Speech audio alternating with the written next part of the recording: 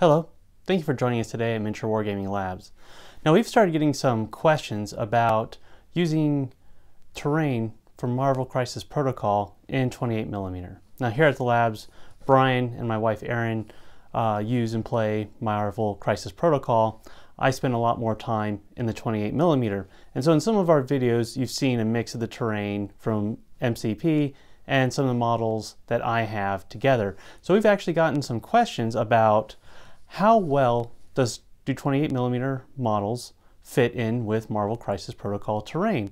Are they seamless? Because some of the issues we have is when you're trying to save money, especially on stuff that you might not consider essential like terrain, you would like a one size fits all terrain solution. And so we decided, all right, let's make a video where we talk about that and we'll do some size comparisons. Now, the thing I want to start off is this is just a sampling of some of the terrain my wife has for Marvel Crisis Protocol.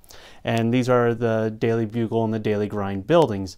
Now something that she found she can do is she taught herself Tinkercad, she used the 3D printer, and with a simple window swap and a little sign, maybe some other signage to put on the building, these buildings are just basic shells and you can put whatever you want and form it into whatever type of business you want. So we could turn this into a police substation. We've got a donut shop right here.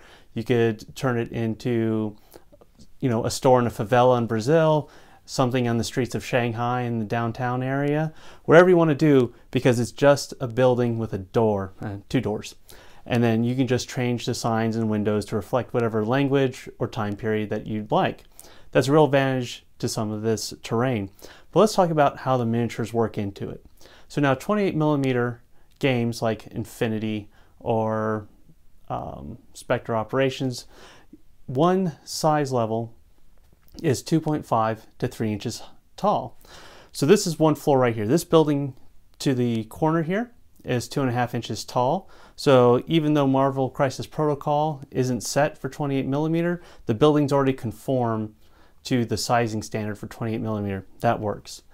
Now, something you'll notice is when you use terrain, the thing that's going to set it is how well do you cheat your eye against the objects of the terrain. So for example, in this building, it would be the door, um, where the height of the doorknob is, where the height of the door is, to the top of the uh, head of your model, or also where the counter is. Now, let's take, for example, Iron Man from Marvel Crisis Protocol. Now what you find is Iron Man is probably the one guy who's actually standing up normally. He's not leaping around, standing on broken down boulders. So he's a good size comparison. We'll go with that. So you can see from the counter height of where he fits on there, the counter is the right height. So he looks uh, like he could walk up there and order a cup of coffee legitimately. However, he is kind of large when compared to the height of the door there and where the doorknob is. Now what's really a problem here is where the trash can that comes in the set comes up to the, his knee. So that's more of a wastebasket. Um, but the dumpster's fine and some of the other signage is fine. But when you're playing the game and you paint it up right and moving around, it cheats the eye. You won't even notice that. But that's something we found when they designed the terrain, terrain for Marvel Crisis Protocol is that the way they size the objects um, on the outside of the building does tend to fool you to think that, well, it's good enough, the proper size, especially if you're not inspecting it too closely. So let's start off with one of the games I like. We'll take some models from Spectre Operations, 28 millimeter scale, true scale. Now, when you look at these figures, the, the counter is kind of high on them. Um, so it doesn't look like they'd step up there and order, uh, maybe if they're a toddler, they can peek over the counter, uh, look in. However, the trash cans are perfect. Uh, the dumpsters, really good. They might be a little wide. The door fits. Um, the cars are actually perfect.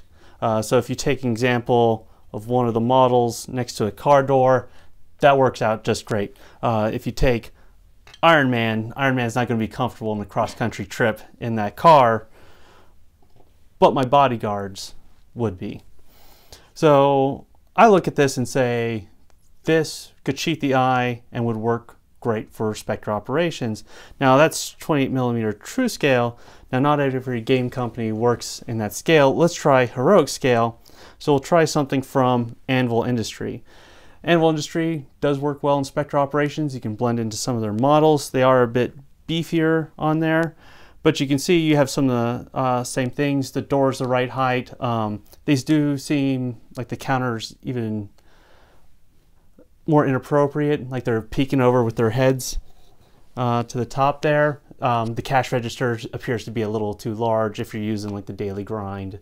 Um, but you know the door works, the trash cans work. So if you're just focusing on the models and on the road that they're sitting on, uh, it works well. The car also works well with this size model. Um, the, the biggest issue would probably be, you know, if they wanted to cross the street, the button seems a little kind of high up. But that stuff, um, there are worse terrains out there. So it seems to work for the heroic scale. But you know, a lot of people um, might not have these models, but you might be familiar with Warhammer.